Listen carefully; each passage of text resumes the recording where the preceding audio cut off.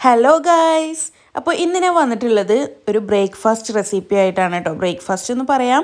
പിന്നെ അതുപോലെ തന്നെ നാല് മണിക്കൊക്കെ വേണമെന്നുണ്ടെങ്കിലൊക്കെ കഴിക്കാൻ പറ്റിയ നല്ലൊരു അടിപൊളി റെസിപ്പിയാണ് പക്ഷേ സിമ്പിളാണ് കേട്ടോ. ഉണ്ടാക്കാനും സിമ്പിളാണ് ഒരുപാട് പെരത്തിയ അല്ലെങ്കിൽ കുഴക്കൊന്നും വേണ്ട. അപ്പോൾ നമുക്ക് വീഡിയോയിലോട്ട് പോവാം. വീഡിയോയിലോട്ട് പോകുന്നതിന് മുന്നേ നിങ്ങൾക്ക് ഇതുപോലെ സിമ്പിൾ റെസിപ്പീസൊക്കെ കാണാൻ ഇഷ്ടമാണെന്നുണ്ടെങ്കിൽ ഈ ചാനൽ സബ്സ്ക്രൈബ് ചെയ്യാത്ത കൂട്ടുകാരാണെങ്കിൽ ഒന്ന് സബ്സ്ക്രൈബ് ചെയ്ത് സപ്പോർട്ട് ചെയ്യാം കേട്ടോ. ആദ്യം നമുക്കൊരു മിക്സിയുടെ ജാർ എടുത്ത് അതിലോട്ട് ഒരു കപ്പ് മൈദമാവ് ഒന്ന് ചേർത്ത് കൊടുക്കാം. മൈദമാവിന് പകരം ആട്ടമാവ് വേണമെങ്കിലും എടുക്കാം കേട്ടോ. പിന്നെ ആവശ്യത്തിന് ഉപ്പ് പിന്നെ അതുപോലെ തന്നെ ഒരു ടേസ്റ്റ് വരാൻ വേണ്ടിയിട്ട് ചെറുങ്ങനെ ഒരു മധുരത്തിന് വേണ്ടിയിട്ട് ഒരു ടേബിൾ സ്പൂണ് പഞ്ചസാര പിന്നെ ഒരു മുട്ടയും കൂടെയാണ് കേട്ടോ ഇതിലോട്ട് ഒഴിച്ചു കൊടുക്കുന്നത്.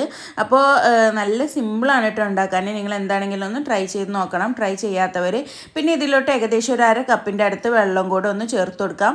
വെള്ളം ഞാൻ ഒരു കൺസിസ്റ്റൻസി കാണിച്ചു തരാം അതിനനുസരിച്ച് ചേർത്ത് കൊടുത്ത് മിക്സിയിൽ നന്നായിട്ടൊന്ന് അടിച്ചെടുക്കുക. അപ്പോൾ കണ്ടോ ഇതാണ് ഇതിന്റെ ഒരു കൺസിസ്റ്റൻസി നമ്മുടെ ദോശമാവൊക്കെ അല്ലേ അതിനേക്കാളും ഒരു ചെറുങ്ങനെ ലൂസ് ഒരുപാട് അങ്ങ് ടൈറ്റ് ആവരുത് കേട്ടോ. അപ്പോൾ നമ്മുടെ മാവ് ഇവിടെ റെഡി ആയിട്ടുണ്ട്. ഇനി നമുക്കിതൊന്ന് ചുട്ടെടുക്കാനേ ഉള്ളൂ. അപ്പോൾ ഒരു പാൻ എടുത്ത് അടുപ്പത്ത് വെച്ചിട്ട് ചൂടായി വന്നാൽ നമുക്ക് ബാറ്ററി ഇതിലോട്ട് ഒഴിച്ചു കൊടുക്കാം. പിന്നെ ഇത് കയ്യിലോണ്ട് ഇങ്ങനെ പരത്തി കൊടുക്കുകയൊന്നും വേണ്ട. ജസ്റ്റ് വേണമെന്നുണ്ടെങ്കിൽ ഒരുപാട് കട്ടി തോന്നുകയാണെങ്കിൽ പാൻ കൊണ്ട് ഒന്ന് ഇങ്ങനെ ഒന്ന് ചുറ്റിച്ച് കൊടുത്താൽ മതി. ഇവിടെ ഞാൻ വലിയ പാനാണ് എടുത്തത്. അതിന്റെ ഒരു പ്രശ്നം മാത്രമേ ഉള്ളൂ.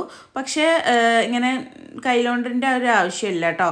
അപ്പോൾ ഒരു സൈഡൊന്ന് ഡ്രൈ ആയി വന്നാൽ നമുക്ക് വേണമെന്നുണ്ടെങ്കിൽ മാത്രം ഓയിലൊന്ന് സ്പ്രെഡ് ചെയ്ത് കൊടുക്കുക. ഇതിപ്പോൾ ഓയിൽ സ്പ്രെഡ് ചെയ്തിട്ടില്ല എന്ന് വിചാരിച്ചിട്ട് ഒരു കുഴപ്പമില്ല കേട്ടോ. അതങ്ങനെ നമുക്ക് എന്നാലും കഴിക്കാൻ ടേസ്റ്റ് ആയിരിക്കും. പക്ഷേ ഓയിൽ ഉണ്ടെങ്കിൽ ഒന്നും കൂടെ ടേസ്റ്റാണ് അപ്പോൾ ഇനി ഇത് നമുക്കൊന്ന് മറിച്ചിട്ട് കൊടുക്കാം. മറിച്ചിട്ട് ഒന്നിങ്ങനെ പ്രസ് ചെയ്തിട്ടൊന്ന് പെട്ടെന്ന് കുക്ക് ചെയ്തെടുക്കുക കേട്ടോ പെട്ടെന്നാവും ഇത് ഏകദേശം ഒരു മിനിറ്റ് രണ്ട് മിനിറ്റിന്റെ ഉള്ളിൽ പെട്ടെന്ന് ഇത് റെഡി ആവുന്നുണ്ട് കേട്ടോ അപ്പോൾ കണ്ടോ ഇതിവിടെ റെഡി ആയിട്ടുണ്ട്. ഒരു ഹൈ ഫ്ലെയിമിൽ അല്ലെങ്കിൽ മീഡിയം ടു ഹൈ ഫ്ലെയിമിൽ തന്നെ വെച്ചോളൂ. ഒരുപാട് അങ്ങ് ലോ ആക്കി വെക്കണമെന്നൊന്നും ഇല്ല കേട്ടോ അപ്പോൾ ഇതിവിടെ റെഡി ആയിട്ടുണ്ട്. ഇനി നമുക്കിത് പാനിൽ നിന്ന് എടുക്കാം. എല്ലാ അപ്പം ഇതുപോലെ തന്നെ ചുട്ടെടുക്കുക.